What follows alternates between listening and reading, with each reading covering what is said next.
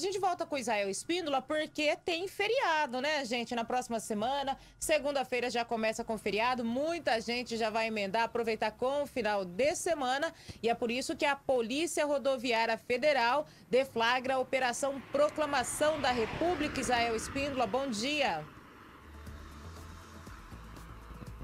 Bom dia, Ana, novamente. Bom dia a todos. Pois é, Ana, desde as zero horas dessa sexta-feira foi deflagrada pela Polícia Rodoviária Federal a Operação Proclamação da República. 500 PRFs distribuídos em nove delegacias e 23 unidades operacionais da Polícia Rodoviária Federal irão fiscalizar, né? Reforçar a fiscalização de 4.078 quilômetros de rodovias federais que cortam aí o estado de Mato Grosso do Sul. Aqui na nossa região são duas rodovias federais, a BR-158 e a BR-262.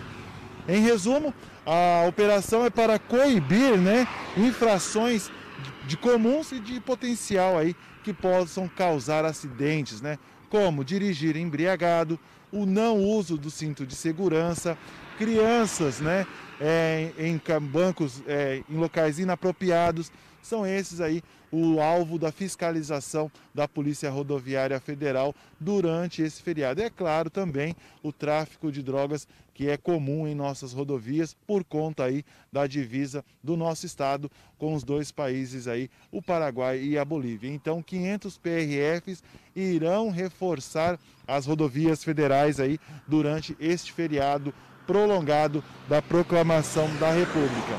E atenção você, meu amigo caminhoneiro, que há também restrição de tráfego durante este feriado, que é para melhorar aí o trânsito e a segurança nas rodovias federais. O descumprimento constitui em infração de trânsito de natureza média cinco pontos e multa de 130 reais se desobedecer aí os horários que é permitido para o trânsito. Veículos com largura máxima a 2,60 metros, altura de 4,40, comprimento total de 18,80 metros, ficam proibidos de transitar na sexta-feira das 16 até as 22 horas, no sábado das 6 até ao meio-dia e na segunda-feira das 16 às 22 horas.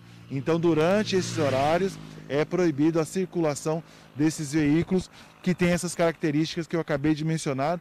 Vou repetir: largura máxima de 2,60 metros, a altura de 4,40 metros e o comprimento de 19,80 metros. Isso tudo é para facilitar o trânsito, principalmente na sexta-feira, quando as pessoas estão saindo de viagem, e também na segunda-feira, quando as pessoas estão retornando aqui para Três Lagoas. Fica aí, então, a restrição para esse tipo de veículo durante este feriado prolongado aí da proclamação da República. Ana?